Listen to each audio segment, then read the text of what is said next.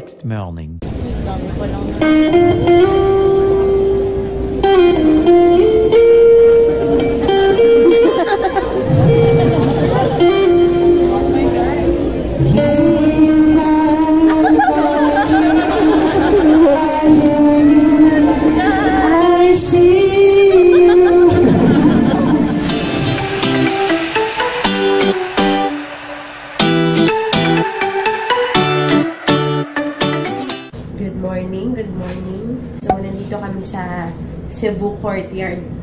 Hotel na pain lang. Anong masasabi mo sa ating room? Sobrang liit ng room. Tapos, walang toiletries, mga friends. Pero may sabon naman at tissue. At, at least may shower, hot shower. Kasi kung hindi, yun. Patwalya naman sila in Fairview, Quezon City. Si Camille nakabihis na. Ako magsisimula pa lang ng aking ritual. Charan! Ito yung ginagamit kapag umalis. Oh, mesh pouch. Tapos may mga lagayan. Oh. Yan. So, dahil maghapon ang ano natin, may meet and greet pa kasi, picture-picture, ganun. So, kahit gabi na pa yung concert, maaga kami dapat nandun. So, itong Cebu Courtyard Hotel ay located in Lapu-Lapu City. So, ito ay mas malapit sa airport. Kaya ang layo namin sa city. So, ang problema ni Camille kung saan kami bibili ng pasalubong. Kasi kailangan namin ng pangsuhol sa mga naiwan namin sa Maynila. Charot. Hindi, si Jom, ah, okay lang daw wala akong pasalubong sa akin. Kasi, yung mga, di ba, yung mga delicacies dito sa Cebu, meron naman sa SM eh. Though hindi lahat. Kaya sa SM na lang kami bibili. Sa MUA. sa MUA tayo bibili.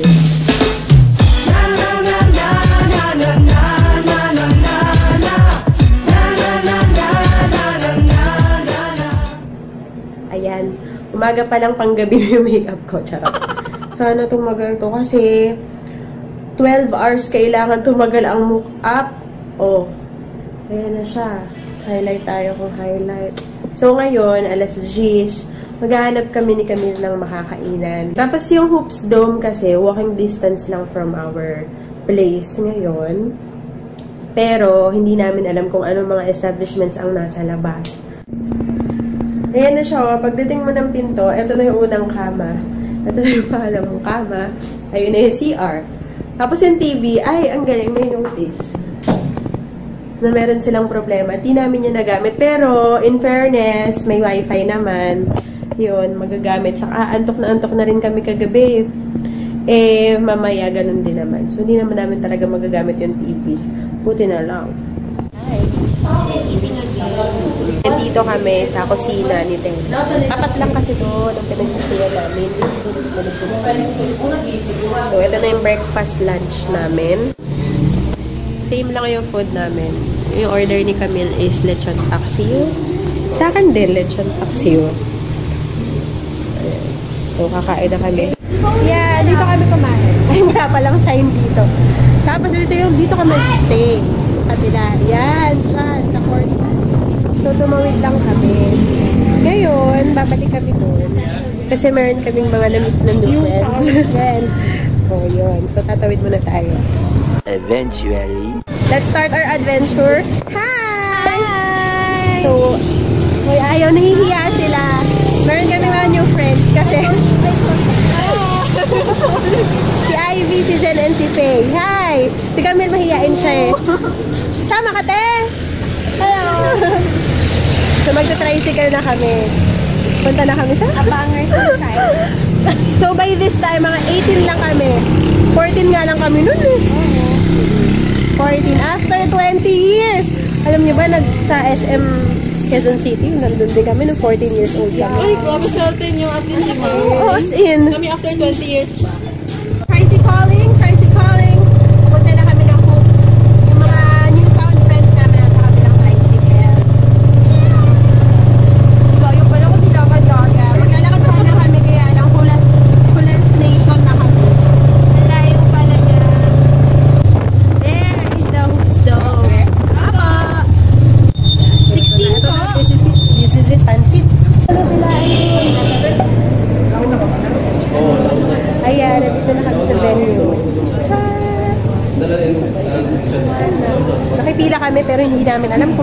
pila na dapat namin sila.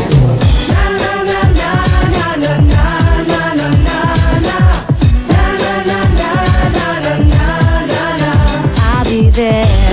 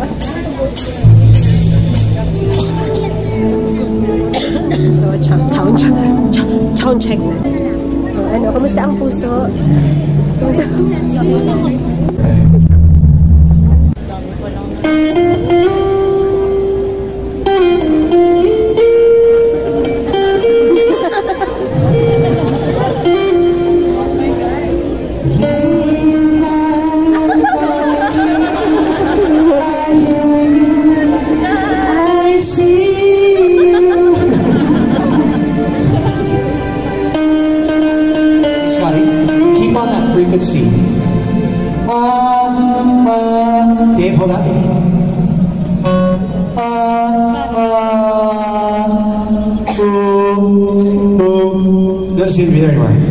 Hey, hey, hey. Miss it there. We want to home. We want to home. We want to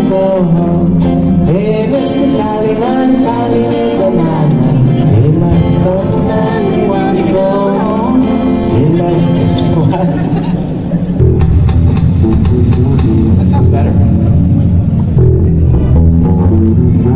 just that it's cleaner on stage.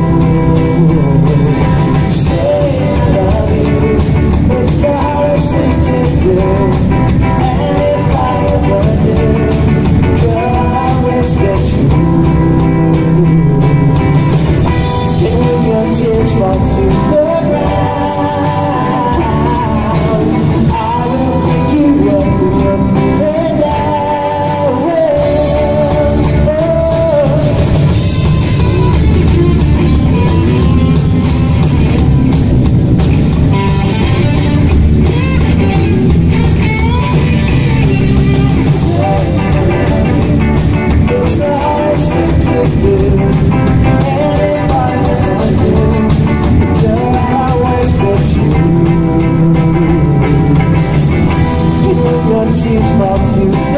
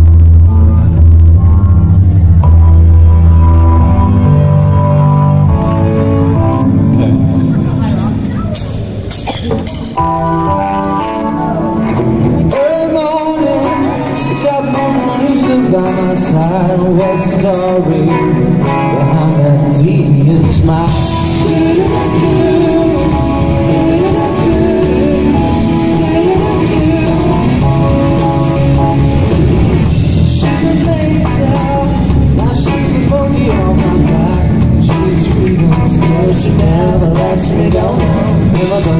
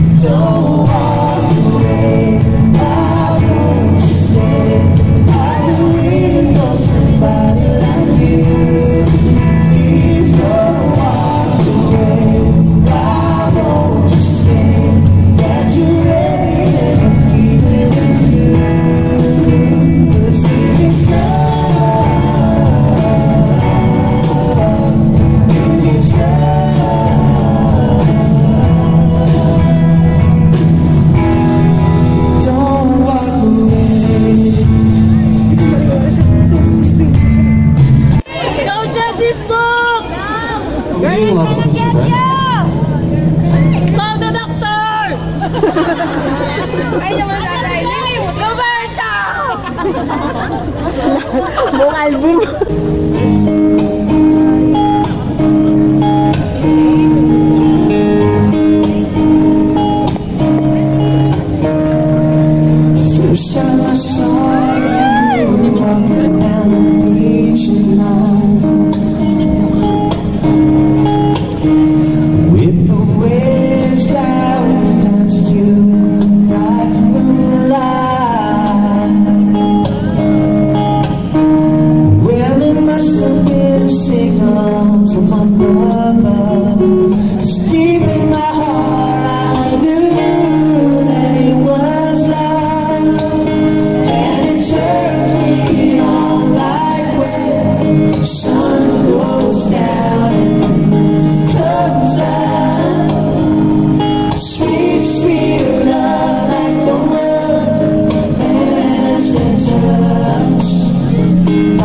simple process.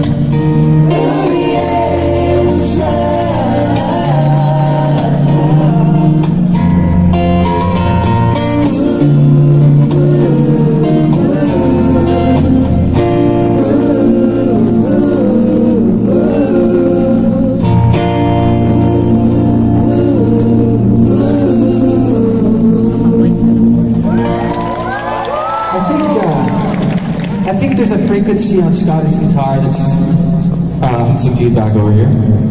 Is that what that could have? With your love, and that's better now. It's still over there. There's there's still something over there. Maybe we should get one from Noah. maybe we should ask your dad. Maybe, maybe we should maybe get one prepared. You can make one. Buy some beans and put it in a bottle. I swear to God, I make my own shakers all the time.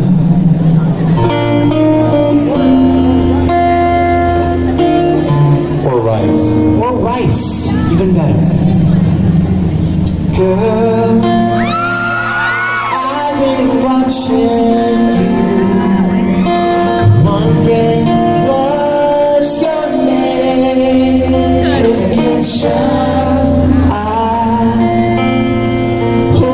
feel? Baby, what's on your mind?